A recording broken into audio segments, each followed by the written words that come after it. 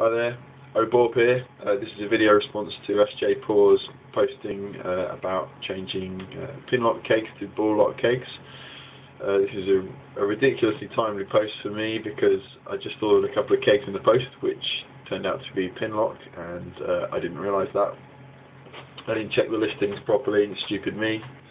Um, but I already have one uh, ball lock keg so I was thinking I was going to have to end up um, changing uh, connectors or changing gas lines every time I wanted to uh, pressurize a, a, keg of a different type to the one that I've been ch charging pressurizing previously, which would have been a major pain in the ass. Um, but uh, SJPorr posted that video, so I think what I'm going to go ahead and do now is just order a couple of connectors um, for each um, keg, uh, ball lock connectors, and that should have me sorted out.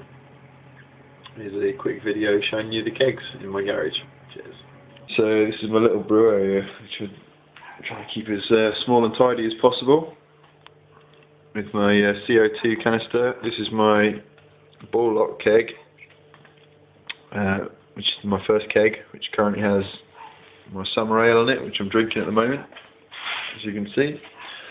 Uh, these kegs are the ones that came in the post yesterday, and as you can see, they are pin lock, and these are the ones that I'm now going to convert as a result of uh, SJPorr's video. So thanks very much for that, man. Uh, 17. Happy Hungry Wednesday, everyone. And see you later. Bye.